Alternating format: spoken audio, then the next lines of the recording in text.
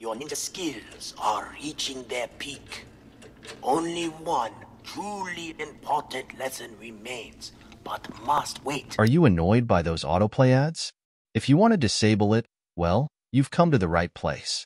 On the Fire Stick home screen, when you're browsing through Amazon Prime recommendations for a movie or TV show to watch. This can be disruptive, especially if you're not interested in the suggested content autoplay on the home screen or if you're trying to focus on something else. It's like this when you're scrolling through movies or TV shows to pick one.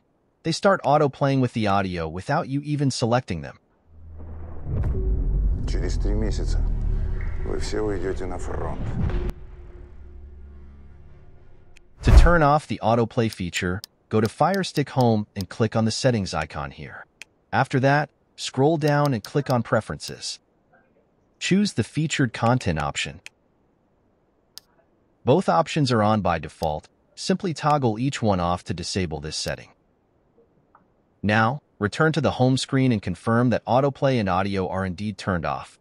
You can do this by navigating to any content and ensuring that it doesn't start playing automatically, and also by checking that there's no sound playing in the background. Now you can browse without worrying about content autoplaying or any unwanted audio interruptions. Enjoy your uninterrupted search. Hope you like this video. Tune in for more hacks with Fire Stick Hacks. Before you go, make sure to check out our website firestickhacks.com where we get you the latest Firestick updates, tips, tricks, and expert guides to enhance your streaming experience. Also subscribe to our YouTube channel for more videos and latest Firestick apps.